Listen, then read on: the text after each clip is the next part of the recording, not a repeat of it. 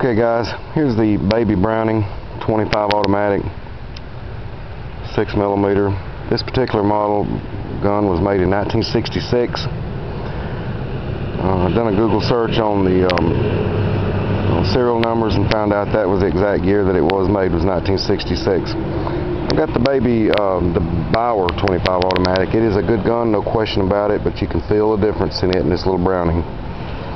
Uh, this here is the little brownie's got a couple more safety features that the uh, Bauer does not have. Uh, without the clip in it, it won't fire. Without the clip in it, you can't even um, cock it. Of course, you, this particular gun or the Bauer, either one, you're not going to carry one in the chamber with it locked anyway and it cocked anyway because it would be dangerous to do so.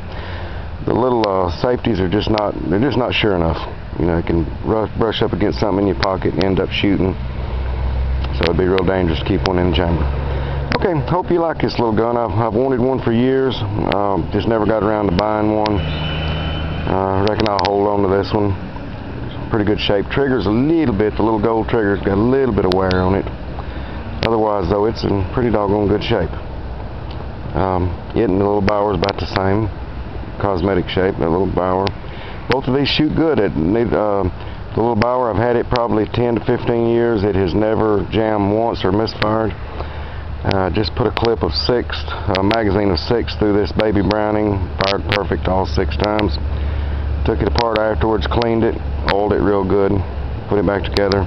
Looked real, everything on the inside looked real good. Very little wear. Hardly no barrel wear to the um, uh, ejector or the slides.